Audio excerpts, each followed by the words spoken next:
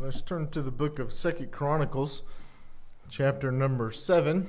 Second Chronicles, chapter number seven, and I'm going to step a little bit out of our series for today, and uh, I trust we'll be able to um, hear from the Lord this morning. It's a familiar passage of Scripture, but uh, one that we often um, hear just a singular verse out of this chapter. Uh, but I, I, know that the Lord will speak to our hearts, and uh, we'll uh, trust that you'll allow Him to uh, have His way in your life. So, Second Chronicles chapter number seven.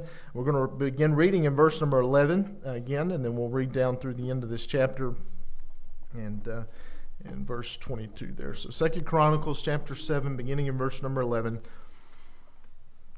The Bible says here, Thus Solomon finished the house of the Lord and the king's house all that Solomon had planned to do in the house of the Lord and in his own house, he successfully accomplished. Then the Lord appeared to Solomon in the night and said to him, I have heard your prayer, and I have chosen this place for myself as a house of sacrifice. When I shut up the heavens so that there is no rain, or command the locusts to devour the land, or send pestilence among my people, and this is the familiar verse in verse 14 that if my people who are called by my name humble themselves and pray and seek my face and turn from their wicked ways, then I will hear from heaven and will forgive their sin and heal their land. Now my eyes will open and my ears uh, attentive to the prayer that is made in this place. For now I have chosen and consecrated this house that my name may be there forever. My eyes and my heart will be there for all time. And as for you, if you will walk before me as David your father walked, doing according to all that I have commanded you and keeping my statutes and my rules, then I will establish your royal throne as I had covenanted with David your father, saying, You shall not lack a man to rule Israel. But if you turn aside and forsake my statutes and my commandments that I have set before you, and go and serve other gods and worship them, then I will pluck you up from my land that I've given you in this house that I've consecrated for my name. I will cast out of my sight, and I will make it a proverb and a byword among all the people. And at this house which was exalted, everyone passing by will be astonished and say, Why has the Lord done thus to this land and to this house? Then they will say, Because they abandoned the Lord, the God of their fathers, who brought them out of the land of Egypt and laid hold on other gods and worshiped them and served them. Therefore, he has brought all this disaster on them. Let's go to the Lord in prayer. Father, we uh, do thank you for another opportunity to stand and to preach your word.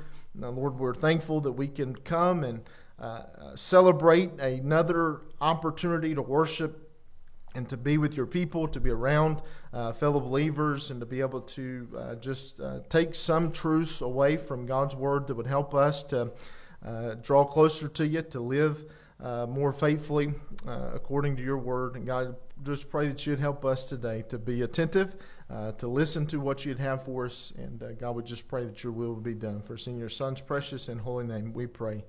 Amen.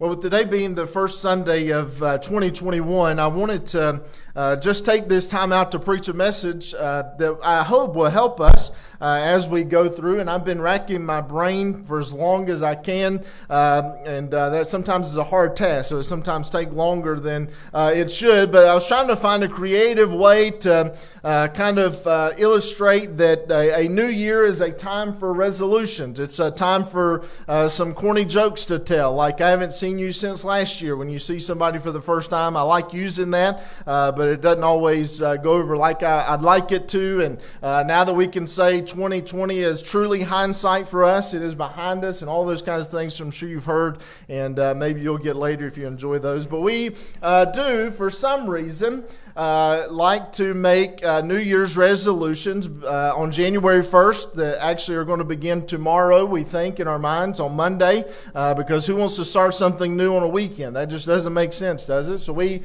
uh, set aside a time like this to, to decide to change some things in our lives. And why, why do we do that? We do that because there is obviously something in our lives that we are not satisfied with. There is something we'd like to achieve that we haven't yet achieved. There's uh, some goals that we have set for ourselves that haven't come our way, or maybe uh, like all of us can say, that this past year was not the greatest of years uh, with all of the things that we had going on in our lives. And so it is the uncomfortableness of life, uh, it is the unsatisfaction with where we are in life that says, hey, let me do something uh, to change my future uh, to change the outcome of what I am currently getting. And oftentimes, what we find is that those changes are very elusive. In fact, uh, your resolutions this year are probably the exact same resolutions you set forth last year, right?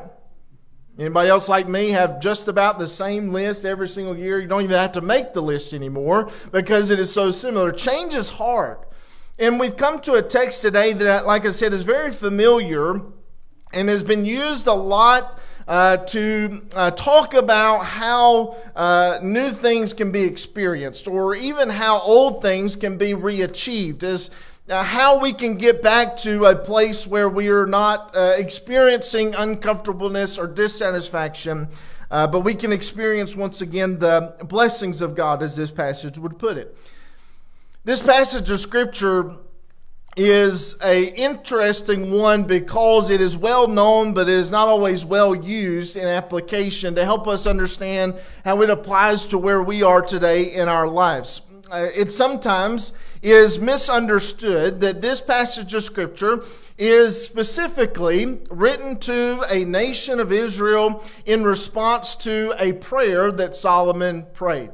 David was the original one that was given the task to build the grand uh, temple of God. We know that through uh, the things that happened in his life, he was not able to achieve that goal that had been set forth for him, and that was passed down to his son Solomon. And Solomon, uh, man, he spared no expense in making the house of God as good as he could possibly make it uh, with what was available to him at that day. It was a majestic thing to behold.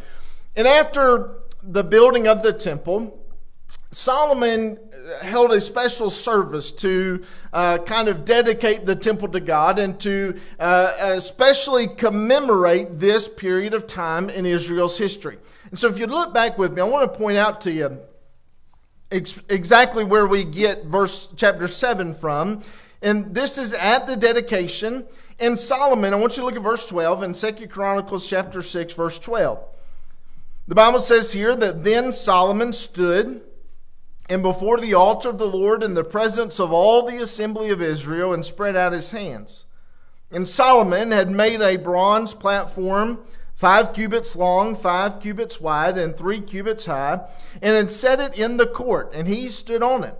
Then he knelt on his knees in the presence of all the assembly of Israel and spread out his hands toward heaven and said, O Lord, God of Israel. He's obviously praying here. There is no God like you in heaven or, or on earth, keeping covenant and showing steadfast love to your servants who walk before you with all their hearts. he continues praying, but I want you to skip down to verse 24.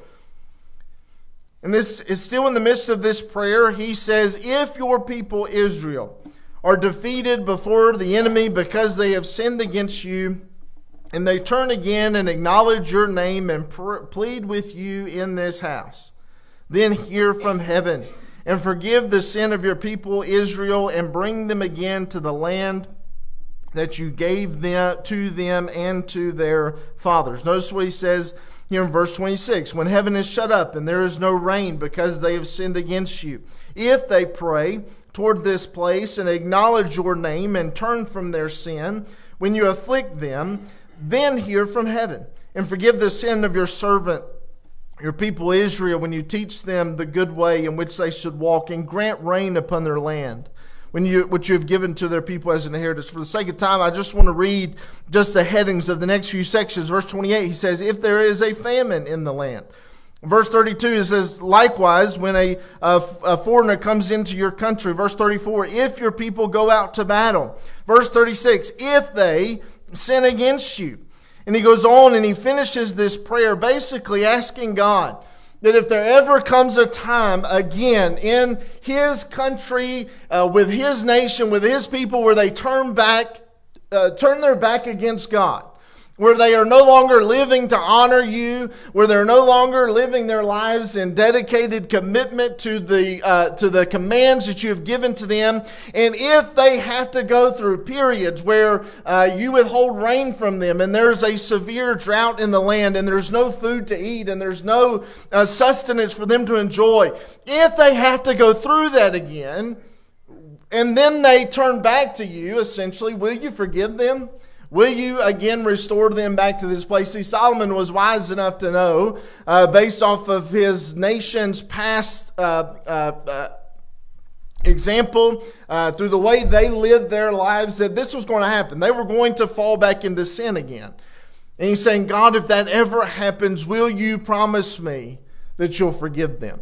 And that's where Second Chronicles 7 comes in, that God looks at Solomon and says, Yes, Solomon, if there comes a time where they are living in sin, there comes a time where they are uh, struggling with life and they've turned their back on me, but yet they turn their back to me and pray and ask for forgiveness and repent, yes, I will heal their land. Yes, I will allow them to enjoy the blessings and the favor of God again on their lives. And I want us to see from this response that God gives to Solomon that you and I can trust that no matter how far away we may get from God, uh, no matter what decisions we may uh, make that brings the discipline and the punishment of God in our lives that causes struggles to happen, or even when there are such things in our lives as the things that we have experienced in 2020 that are far beyond our control and are not the direct result of our sin or our actions,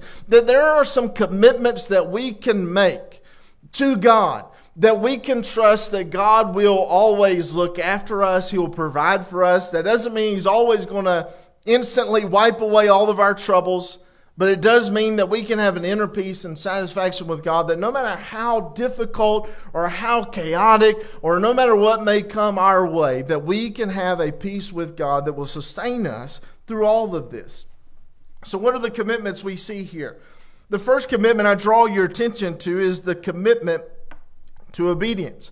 If you read through Second Chronicles chapter number six, what you see Solomon saying, God, if they if we will just be obedient to what you've told us to do. Very often their troubles and their trials came from direct disobedience to what God had told them to do. They, like us, uh, often thought, man, we've got this figured out. Uh, we can figure out how we can go from point A to point B on our own. Uh, we can figure out how to win this battle or that battle. We don't always need God to be directly watching over us and instructing us. And very often, every time they disobeyed God, they would lose. Uh, they would face some kind of punishment, like Moses not being able to um, uh, enjoy the, the promises that God had provided, and David here also not being able to see the temple uh, fulfilled and completed. And then God says, Yes, if you will return uh, to being obedient to me, I will forgive you and I will restore you and I'll bring you back to this place that you have enjoyed. And it is so simple, yet so difficult for us that as believers, if we would just commit ourselves, to being obedient to what God has commanded us to do, we would instantly get rid of a lot of the worries that we face, a lot of the anxiety that we feel, and a lot of the troubles that we endure. You really can sum up the Ten Commandments or all of God's commandments to us just simply in the great commandment that He has given us that we are to love the Lord God with all of our hearts with all of our souls, with all of our minds, all of our strength, and that we love our neighbors as ourselves. And really, if you could just do that, you're really able to be obedient to all of it. It, when, when we look at all the commands of God, maybe even just looking at the Ten Commandments, man, that can get overwhelming. Uh, as we think about all the uh, different rules and laws that are put forth, and all the things that even Jesus says, and that Paul uh, and Peter and James and John would go on to write, it really can seem like, man, how in the world can I ever remember to do all these things that God has told me to do? Well, the simple way is just to love God above anything and everything, to truly be affectionate for Him. And that'll change the decisions you make. That'll change the way you live your entire life. And then if you're loving your neighbor or your brother or your sister like you love yourself, that surely would solve a lot of the relational problems that we have in life because we often struggle with loving ourselves way better than we love those people that are in our lives. So, the Great Commandment, but we also think about the Great Commission when Jesus told us to go into all the world and preach the gospel and to baptize them, to carry the gospel out into the world. It's a simple yet very difficult thing to do to remember that we are to live our lives as a testament uh, of the, the good news, the gospel of Jesus Christ, and the change that has taken place in our lives. And oftentimes we struggle with this because we think if I'm not doing anything bad, that doesn't that means I'm not being disobedient. If I'm not living my life in quote unquote sin, then I could say truly that I'm being obedient to God's word. But there's two ways that we can be disobedient. One's by commission, where we're actually committing a sin that goes against God's word. But there's also the uh, the the area of omission, where we're not doing what God has commanded us to do, that we are neglecting to do some things that God has asked us to do in His Word or instructed us to do.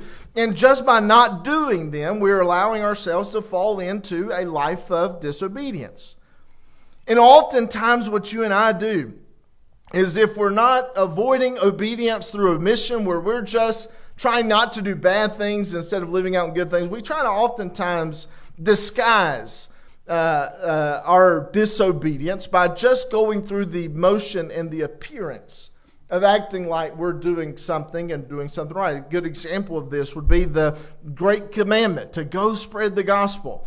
And the easier thing for us to do is not to say, hey, you're a sinner in need of a Savior. It's a lot easier to say, hey, would you go to church with me this Sunday? Would you come to our church, maybe Sunday school, or maybe it's a Wednesday night, or maybe it's a special event, and we oftentimes want to just gloss over and say, man, that I'm fulfilling my duty by just but doing that. And it's great. I, am not encouraging not to invite people to church. So you need to be inviting people to church. And especially during this time where a lot of people can't go to church, they're not able to attend their church, invite them to our church. They don't have to stay here once their church opens back up, but we'd love to have any and everybody uh, that wants to come. As we've said before, we'd like to be nervous because we have so many people here worshiping and uh, trying to do things a little bit differently. But it's good to invite people to church, but God never said, hey, invite people to church. He said, invite people to me. He said, share with them the good news of Jesus Christ. And we have to remember what Samuel said. Uh, it says, Does the Lord take pleasure in burnt offerings or in sacrifices? In other words, out of, out of doing ritualistic things as much as in obeying the Lord? And then he says, Look, to obey is better than sacrifice, and to pay attention is better than the fat of rams.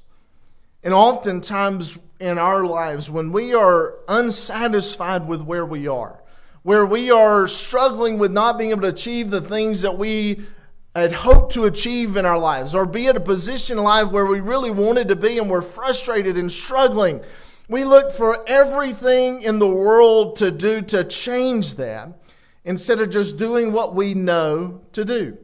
H.B. Charles Jr. put it this way when he said, Stop asking God to bless what you're doing and start doing what you already know God is blessing.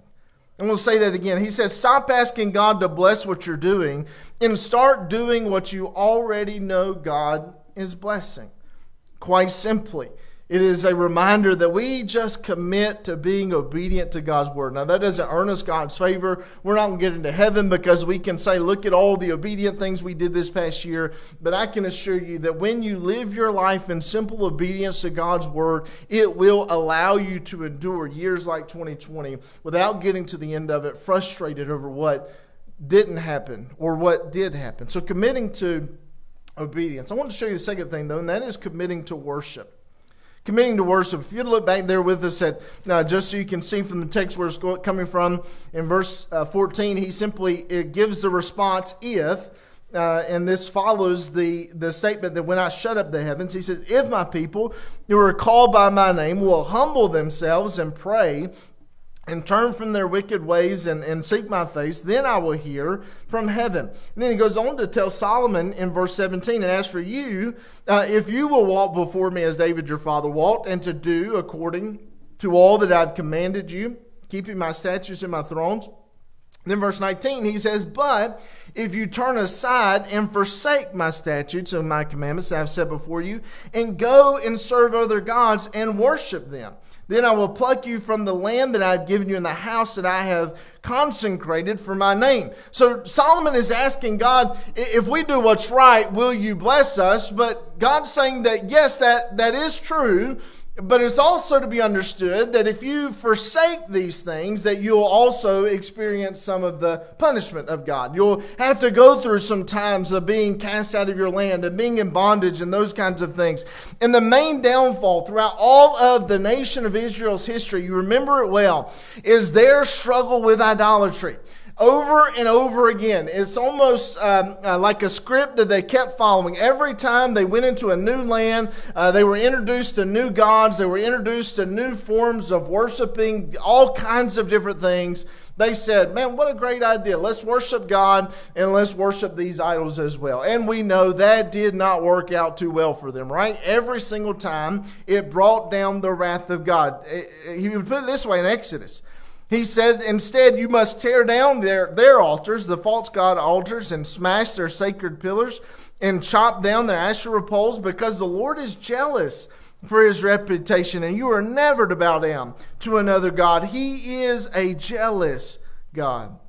And I'm convinced that for you and I, one of the one of the things we must be reminded of as we desire to see uh, a change in our lives, to see a better year, is a reminder that we must worship God and worship Him alone. And you say, but then I do that.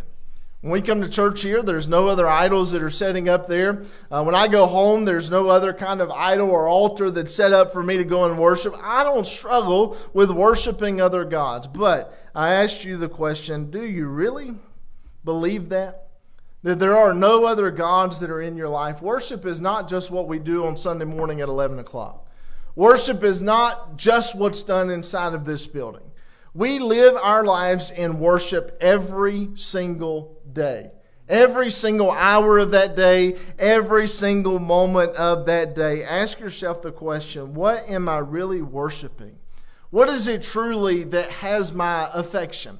What is it that truly gets my uh, uh, uh, whatever it is for you, goosebumps that may come up on the back of your neck if that's you, or uh, gets a little uh, uh, tapping going on in your foot, or uh, wants you to shout and run the aisles, or whatever it may be. What is it that truly gets me to the place where I, I am uh, experiencing uh, this type of worship and this type of affection?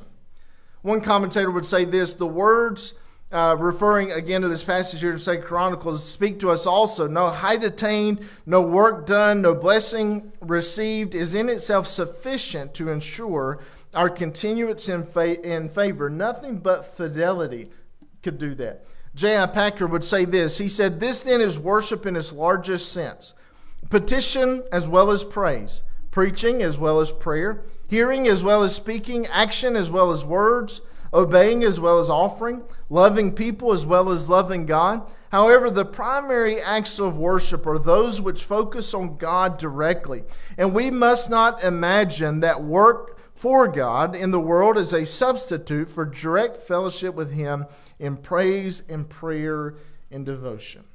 One thing 2020 has done is it has, I, I believe, revealed a lot of idols that you and I struggle with a lot of things that we worship, a lot of things that we oftentimes misplace affection that should be directed towards God with affection for those things. Sports is a big thing in our country, in our society. I know not everybody in here uh, struggles with that idolatry and that uh, that uh, uh temptation to worship. I'll be honest, I, I do. And thankfully, right now, it's not as much of a draw as it uh, was then. Uh, but man, it was it was a, a shock to my senses when uh, the ACC tournament was canceled, uh, and then the NCAA tournament was canceled, and then uh, uh, the NBA basketball stopped, and all of those things. And I'm like, man, what in the world do I watch on TV if there's not any sports to watch? There is nothing else worth watching on TV. I still stand by that. Nothing else is worth watching on TV but sports. And uh, I don't watch it most of the time. I sit there and pretend to be watching maybe from time to time.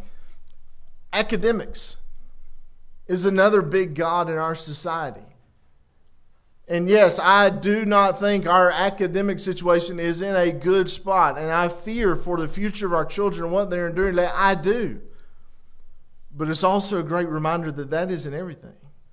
Getting a good degree, getting a good job, moving up in society is going to burn up one day, just like everything else when we stand before God. Our work, a lot of people not able to go to work. A lot of people have lost their businesses forever. Unfair to them. I hate it. I, you know, I, I wish some decisions had been made differently to avoid that. Financial woes, physical woes, just about everything that our culture and society struggles with worshiping instead of God has had a hard hit this year. And a stark reminder to us that let's not get back to the place where we are worshiping those things above God. Even for us as Christians, we haven't been able to have a lot of special services. Uh, we haven't been able to enjoy the lunches that we enjoy. We haven't been able to uh, have a lot of events and outreach events and all the things that normally go into an active church. And all, quote unquote, all we've been able to do is have church. Maybe it's a reminder that that's what church is all about coming to worship God. All those things are good, all those things are necessary. But let us commit to worshiping God and God alone, and all those other things being kept in their proper place. I see a third commitment here that the Bible brings out that we need to commit to in 2021. That is a commitment to repentance. The main thrust of this passage, you could say, is repentance. Look back at verse 14. He said, If my people who are called by my name will humble themselves, and humility is obviously a part of repentance, and they'll seek my face, I will hear from heaven, and I will forgive their sin and heal their land. Sin is obviously what brought them to the point of needing to find repentance and restitution. Now, this morning, I don't want anybody to think that it is your personal sin that has caused 2020 to be a year for everybody. Can you imagine us getting to heaven and God saying, I brought down COVID 19 because of your sin, and all the world had to endure that? That'd be tough, wouldn't it? Aren't you thankful you're in heaven and not on earth? Because you would be experiencing some uh, pain probably uh, if you were the cause of that. I'm, I'm not saying that sin is the direct cause of that, of what we've endured. But would we not be remiss to ask ourselves the question is there not sin in our lives that needs to be dealt with that this time could remind us of? That there may be sin within our church community, within our nation, within our world, that God is trying to get our attention and has used a tool like uh, the difficulties of this past year to remind us the need for repentance? Can I ask you, Christian, when's the last time you truly repented of some specific sin in your life? Oftentimes, we like to throw the blanket over our sin where we'll be ready to go to bed at night and we'll say, God, forgive me. And then we use those magic words, if I have failed you. Do you really think there's an if there? Do you really think we need to put that qualifier on? If by any chance I did anything in the past week that wasn't right with you, would you forgive me? No, more than likely it is. God, I have sinned. God, there is wrong in my life. Would you forgive me? Would you help me find repentance. And this is a reminder to us here in Second Chronicles that if we want the favor of God on our lives, if we want the blessing and the peace with God that we so desire, and that is ultimately what we, we're seeking for when we want something good in life, it comes through repentance. And I believe that as we worship God and follow through with Him, we will find that. Let me give you the encouragement from 1 John 1 9. If we confess our sins, He is faithful and righteous to forgive us of our sins and cleanse us from all unrighteousness. And then my favorite psalm, Psalm 103, as far as the east is from the west, so far as he removed our transgressions from us. And as a father has compassion on his children, so the Lord has compassion on his children, uh, on those who fear him. The final thing I'd like to draw your attention to this morning is that is that we must commit to being dependent upon him. Ultimately, the struggle that the children of Israel had over and over again, it always came down to where were they going to place their dependence? Were they going to be dependent upon God or were they going to be dependent upon a earthly king? Were they going to be dependent upon God or were they going to be dependent upon their own wisdom? Were they going to be dependent upon God or were they going to be dependent upon their own riches? And as you read Second Chronicles 7 and you understand what Solomon has asked for and what God has promised, I believe you could sum it up by saying that if they'll come to a place where they are completely dependent upon Him, then they could find themselves in the favor of God again. Jeremiah chapter 17 puts it this way uh, This is what the Lord says Cursed is the person, listen to that, cursed is the person who trusts in mankind. He makes human flesh his strength, and his heart turns from the Lord. He will be like a juniper in the Arabah, but he cannot see when good comes, but dwells in uh, the parched places in the wilderness in a salt land where no one lives. But notice the contrast here. The person who trusts in the Lord, whose confidence indeed is in the Lord, is blessed. He will be like a tree planted by the water. It sends its roots out toward a stream. It doesn't fear when heat comes, and its foliage remains green. It will not worry in a year of drought or cease producing fruit. The heart is more deceitful than anything else and incurable. Who can understand it? You know what Jeremiah said? You trust in man, you'll always be disappointed. You trust in God, you'll always be satisfied. And I believe that the difficulties of this past year and the excitement of a new year should cause us to renew our commitment to be dependent upon God, not dependent upon ourselves, not dependent upon a president, not dependent upon a political party, not dependent upon a healthcare system, not dependent upon anything.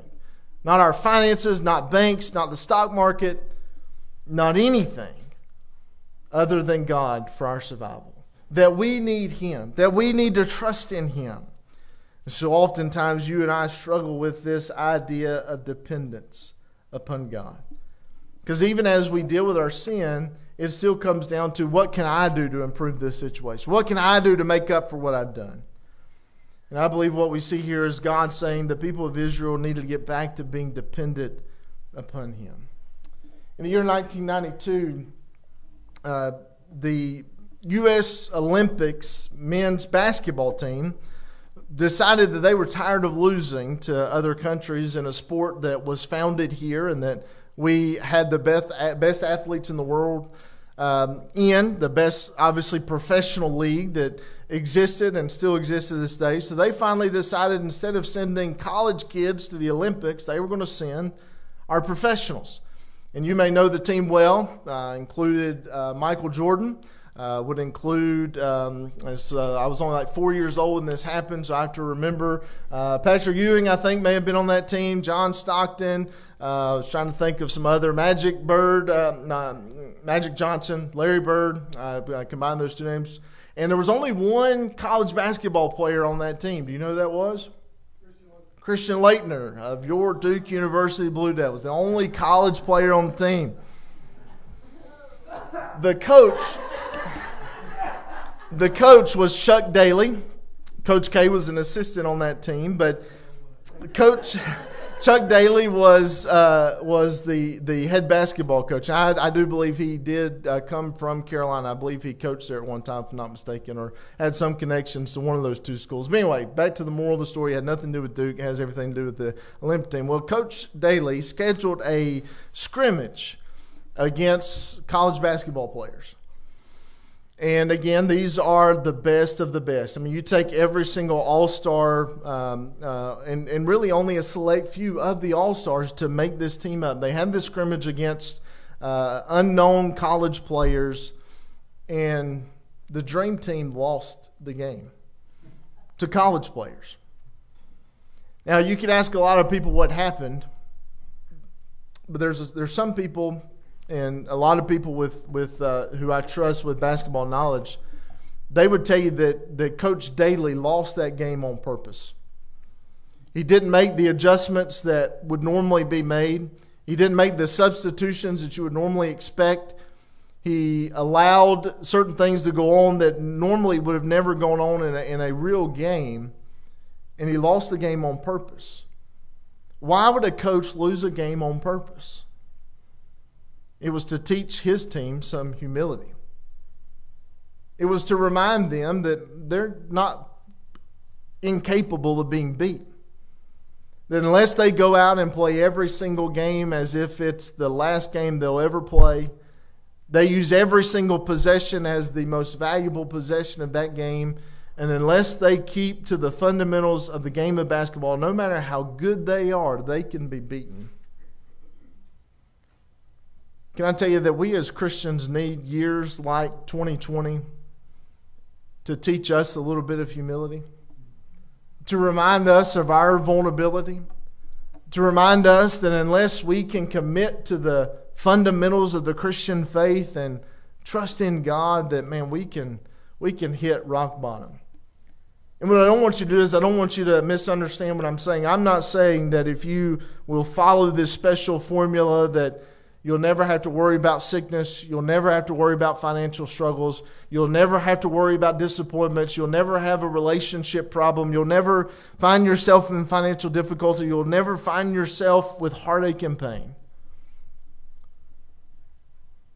But what I am telling you is that if we can commit ourselves to being obedient to God, Obviously, after we've placed our faith and trust in Him, if we can commit ourselves to worshiping Him above all else and not replacing Him with anything, if we'll commit to repenting when we sin and when sin is brought to our attention, if we'll commit to being dependent upon Him, that we will have the favor and the blessings of God on our lives. We will have a peace that surpasses all understanding. We'll have a joy that can't be stolen from us. And no matter what difficulties 2021 may bring, we can get through it on the other side knowing that we have God. And that's the most important thing we can have. And that He will see us through it. And He'll give us always what we need exactly when we need it.